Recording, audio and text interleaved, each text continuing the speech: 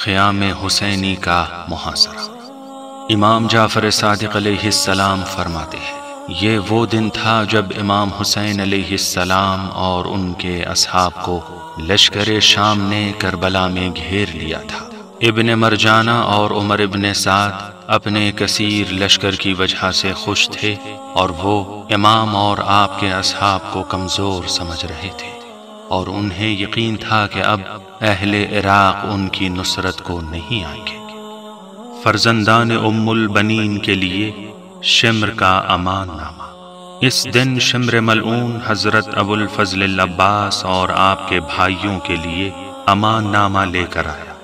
ख्याम हुसैनी के करीब आकर बुलंद आवाज़ में बोला, मेरी बहन के बेटे कहाँ हैं? लेकिन फर्जंदान उम्मुल बनीन ने उसका कोई जवाब नहीं दिया।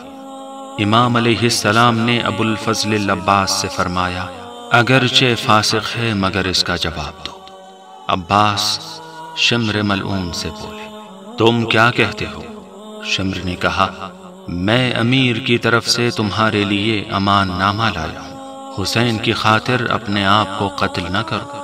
ये सुनकर अबुल फजल अब्बास ने बुलंद आवाज़ में कहा, तुम और तुम्हारे अमीर पर खुदा की लानत हो। मुझे अमान देते हो और फर्जंद रसूल खुदा अमान में न हो।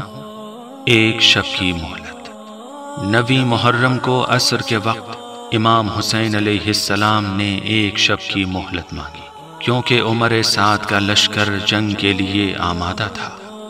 इमाम ने अपने भाई अबुल फजल अब्बास को उमर इब्ने साद के पास भेजा। पहले तो वो मलून ना माना, लेकिन बाद में उसने एक शब की मोहलत